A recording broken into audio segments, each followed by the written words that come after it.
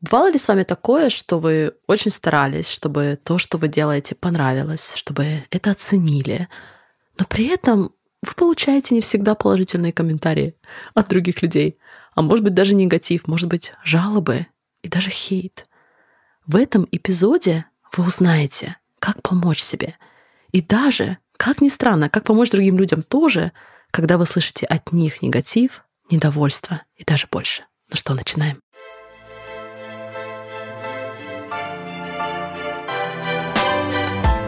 Добро пожаловать на подкаст «Не учи меня жить», который выходит при поддержке Art of Self-Coaching. Это место, где мы учимся помогать себе бережно и эффективно, так, чтобы проживать жизнь, которую вы действительно любите, и чувствуете себя сильно в ней. Меня зовут Алена Берисон, и мне не терпится разделить с вами искусство селф-коучинга. А если вы хотите ускорить этот процесс, я приглашаю вас забрать мой полностью бесплатный гид «Как действительно почувствовать себя лучше», Просто пройдите по ссылке в описании к этому эпизоду или наберите artofselfcoaching.pro в своем браузере. А теперь приступаем к сегодняшнему эпизоду. Дорогие друзья, всем огромнейший привет и добро пожаловать на подкаст «Не учи меня жить». И добро пожаловать в весну. Я надеюсь, уже для абсолютного большинства из нас это случилось, это произошло. Я так этому рада, не поверить, это была самая длительная зима, несмотря на все наши отпуска – и, наконец-то, мы стали очень много времени проводить на природе, двойняшки становятся все более самостоятельные. В шведском есть такое выражение «нюборья ливет», и мне кажется, что это как раз-таки тот момент, когда у нас жизнь начинается. У нас с мужем, я имею в виду. И я прям предвкушаю это лето, многое, что будет происходить. И я очень надеюсь, что вы будете частью этого. А пока мы с вами будем прорабатывать очень приятную, неприятную тему, а именно негатив и хейт. Хотя я неоднократно затрагивала эту тему здесь на подкасте и даже разбирала ее в качестве гостя на подкасте Ольги Микитас, но сегодня я хочу представить ее под совершенно новым углом.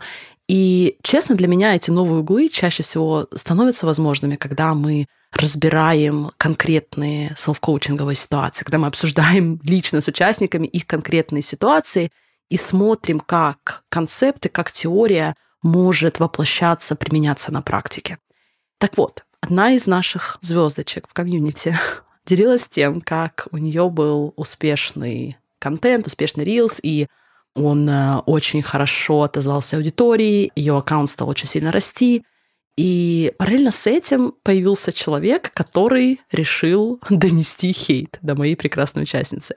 И то, что вы услышите в этом эпизоде, это те инструменты, те размышления, те техники, к которым мы пришли в процессе дискуссии для того, чтобы дальше их применять. Потому что я надеюсь, что и для вас, и для меня, и для всех наших прекрасных участников хейта будет только больше.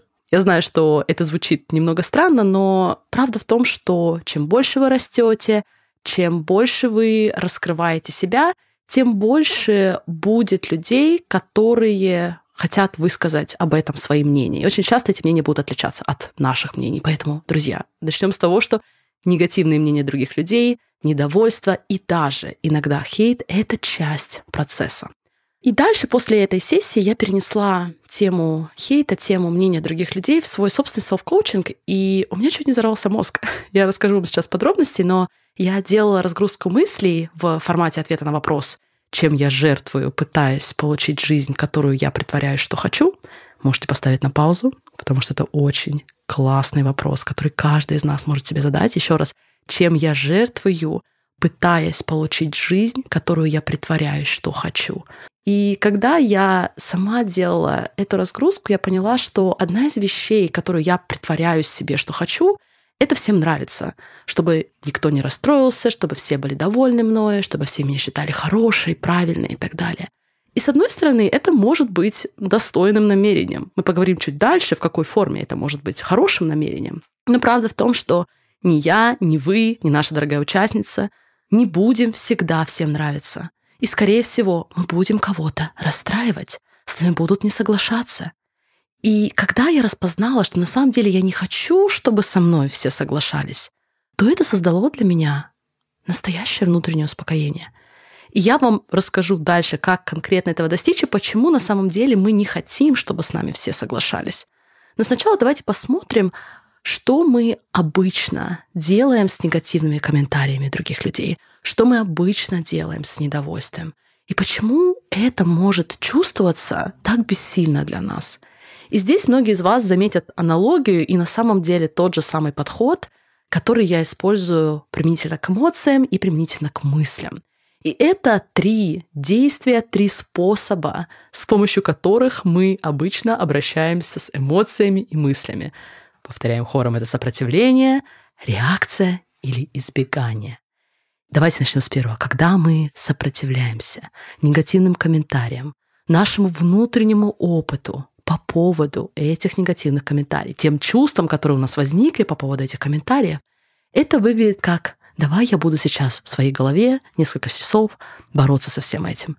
И я надеюсь, что я стану победителем. Я надеюсь, что я выиграю этот внутренний спор с моим внутренним оппонентом. И, друзья, если на это не обратить внимание, этот спор может продолжаться бесконечно. Сопротивление может продолжаться бесконечно. И это очень изматывает, это никуда не ведет. Поэтому, друзья, замечайте, первое, что мы делаем, мы сопротивляемся негативным комментариям. И самое главное, мы сопротивляемся тем эмоциям, тому внутреннему опыту, который у нас возникает по поводу этих негативных комментариев. Второй способ того, как мы часто обращаемся с негативными комментариями, это реакция на них. И реакция здесь, скорее всего, будет именно реакция на ту негативную эмоцию, которую мы чувствуем внутри, когда мы получаем эти негативные комментарии. И кто-то из нас будет вступать в прямое столкновение – может быть, вы выговоритесь человеку, вы объясните, где он не прав и что он делает не так в своей жизни. Или вы можете начать мониторить, пытаться защищаться, действовать превентивно. Все то, что мы делаем, реагируя, веря и действуя из нашей очень часто болезненной эмоции, которую мы испытываем, когда получаем негативные комментарии. И третий способ — это избегание. И это звучит как «теперь я просто больше не буду даже показывать себя». Я больше не буду выступать аутентично, я больше не буду развивать свое дело, я больше не буду делать того, что я верю. И мне кажется, это самая трагичная форма ответа на негативные комментарии. Потому что в такой ситуации мы так бессильны в своих эмоциях, что мы даже не даем себе шанса. Мы решаем, что лучше я не буду даже пробовать, чем проходить через опыт дискомфортных негативных эмоций, которые являются очень человечными на самом деле, когда мы слышим недовольство, негативные комментарии со стороны других людей. Теперь мы с вами видим, что эти три способа обращения с негативными комментариями и особенно с нашими эмоциями, которые возникают по поводу этих негативных комментариев, эти три способа не работают.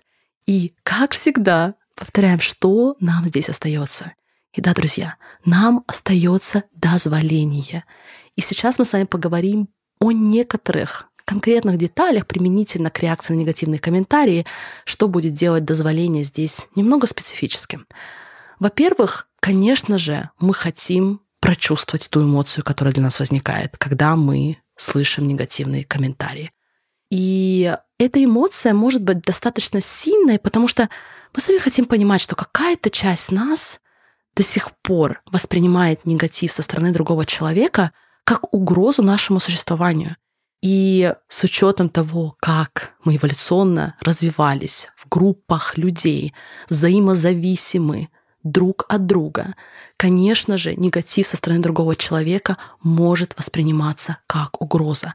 И я даже не говорю про то, что сейчас в мире происходит, когда целые группы людей, огромные группы людей объединяются против одного человека с попыткой его отмены с попыткой критики, с масштабной критикой этого человека, в том числе онлайн.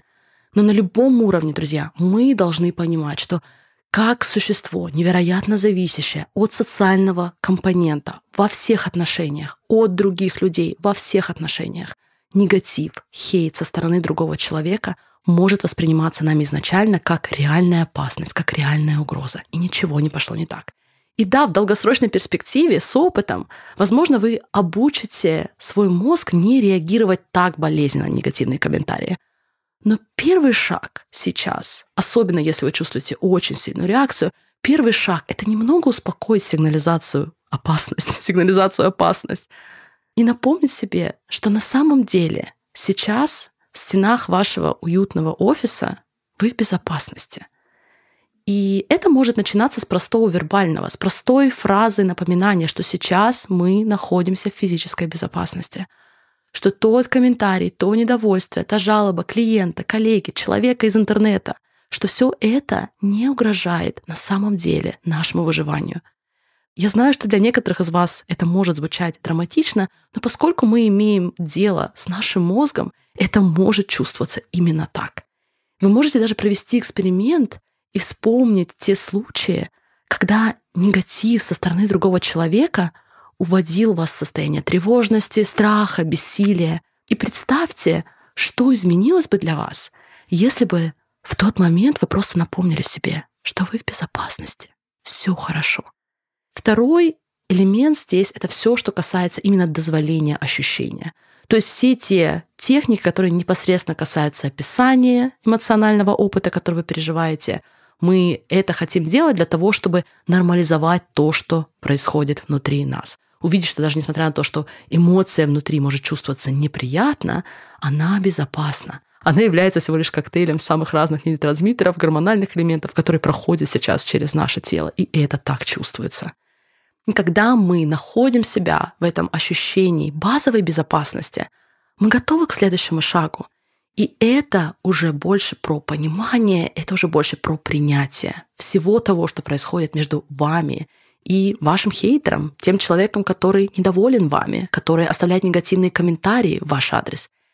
И я здесь хочу зачитать некоторые тезисы из моей разгрузки мыслей, где я пришла к этому выводу, что на самом деле я не хочу, чтобы все думали обо мне хорошо, я не хочу, чтобы все соглашались со мной. Почему это так? Дело в том, что, и это очевидность, мы все очень-очень разные. И если кто-то сейчас слышит меня с совершенно другой позиции, с совершенно другим прошлым, чем у меня, совершенно другими убеждениями, принципами, у них не может быть, особенно изначально, очень хороших мнений, например, обо мне. Это бы было просто странно. Потому что в какой-то степени Представьте, если вы действуете из новых убеждений, вы создали для себя новую жизнь и теперь показываете себя из нее, теперь вы можете пошатнуть убеждения и точки зрения других людей. Особенно тех людей, которые продолжают верить в свою беспомощность или в какие-то другие сложности, в которые они продолжают верить. И для многих это просто-напросто неприятно, когда расшатывают их позицию. Большинство из нас будет тяжело позитивно реагировать на человека, подача мнения которого очень отличается от нашего. Потому что мы все равно будем воспринимать этого человека через призму своих убеждений, через призму нашего прошлого опыта, наших мыслей по поводу того, что возможно или невозможно. И многие будут считать человека, который несет, например, оптимизм, фейком, потому что в их системе убеждения это пока так. Они пока не верят, что это может быть по-другому.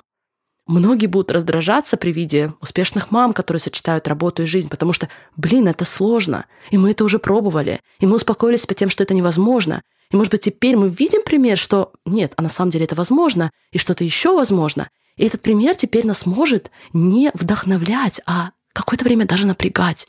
По крайней мере, какое-то время. Это нормально.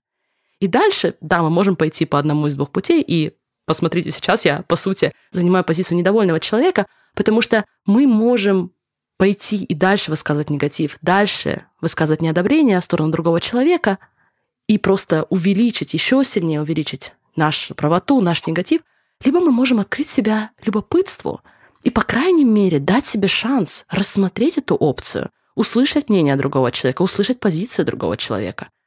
А что если то, что предлагает другой человек, на самом деле возможно – а что, если он или она не эгоистичный, самоуверенный, слишком позитивный и так далее?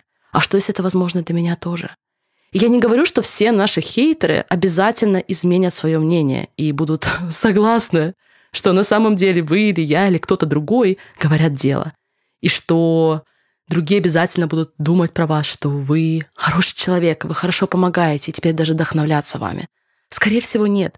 Скорее всего, большинство людей не поменяют свое мнение. Потому что, послушайте, это сложно. У нашего мозга есть bias подтверждения, bias селективности, все это. Плюс, и это тоже вероятно, кто-то услышит нашу точку зрения, проверит и впоследствии решит, что нет, это не для меня. И это тоже окей. Но то, что, мне кажется, здесь является сердцем всего, сердцем наших возможностей, это то, что мы, по крайней мере, даем друг другу шанс.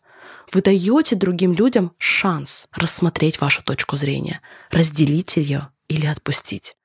Поэтому теперь, когда я слышу негатив в свою сторону, я стараюсь напомнить себе, что это совершенно нормально, что изначально у него или у нее негативное мнение обо мне. То, что я делаю или как я делаю, в какой-то степени расшатывает их систему убеждения по поводу того, что возможно или невозможно для нас. И, может быть, этот человек сделает паузу и вернется к своим убеждениям, поставит их под вопрос и в конечном итоге найдет что-то из того, что я предлагаю полезным. У меня были такие ситуации, когда некоторые участники сначала выливали на меня негатив, но после нашего ответа и дальнейшего размышления просили даже принять их программу. Но были такие ситуации, когда выливание негатива заканчивалось именно этим, выливанием негатива. И это тоже абсолютно окей. По крайней мере, мы даем друг другу возможности выбора. Мы даем друг другу разные перспективы. Мы даем друг другу возможность быть услышанными друг другом. Кстати, это может быть третьим шагом здесь. Когда мы слышим негативную обратную связь, это тоже может быть приглашением для нас вернуться назад и проверить, соответствовало ли наше поведение нашим ценностям, соответствовало ли нашим убеждениям, которые мы хотим сохранять, или мы хотим поставить под вопрос свои убеждения. И если вас это запутало, то вы можете вернуться на несколько эпизодов назад, где я говорила про вас и эмоции других людей, какую ответственность мы имеем за эмоции других людей, и как на самом деле учитывать то, что мы социальные создания, и мы хотим не просто говорить, а в какой-то степени быть услышанными. Поэтому это не та работа, которую мы хотим проводить в одиночку. И иногда действительно негативный комментарий, недовольство и даже хейт может быть приглашением вернуться назад к своим действиям, к своим ценностям и проверить, хотим ли мы продолжать двигаться вперед таким образом. Но здесь, друзья, и это еще один, наверное, да, у нас с вами уже было сердце этого эпизода, но еще один очень важный соус здесь, друзья – когда я говорю про то, что мы хотим вернуться, проверить, соответствует ли наше действие нашим ценностям, на самом деле, что мы хотим думать о недовольстве нами другого человека. Здесь очень важно не начать хейтить себя. Потому что для того, чтобы все это работало, для того, чтобы мы с вами смогли дозволять эмоции, смогли в какой-то степени лучше доносить нашу позицию и лучше воспринимать позицию других людей, нам нужно перестать хейтить себя. Нам очень важно разделить наши ошибки, недовольство других людей нами от того, кто мы есть на самом деле. Потому что ненавидеть себя здесь нет никаких плюсов. Пожалуйста, не делайте, как я, многие годы в попытках понравиться всем, никого не расстроить. Я жертвовала временем, которое могла бы направить на то, чтобы создавать больше ценности и вкладывать в этом мире. И да, присутствовать больше с моей семьей, а не в голове, в обидах, сопротивлении очередному негативному комментарию. Вместо этого я приглашаю вас продолжать показывать себя как человек, который иногда будет получать негативные комментарии, который будет иногда слышать недовольство со стороны других людей, и вы сделаете лучшее из этого. Вы используете это и для себя, и для другого человека. Спасибо большое, что вы были сегодня с подкастом «Не учи меня жить», и мне не терпится продолжить с вами это путешествие в искусство селф-коучинга. До самой скорой встречи! Если вам отзывается то, что вы слышите на подкасте, курс «Формула селф-коучинга» перенесет это на следующий уровень для вас. В самый короткий период вы научитесь формуле, с помощью которой будете поддерживать себя не только через сложности, но и также в создании вашей жизни мечты. Получите курс «Формула селф-коучинга» по ссылке в описании к этому эпизоду и начните поражать себя и других тем, что становится возможным силой селф-коучинга.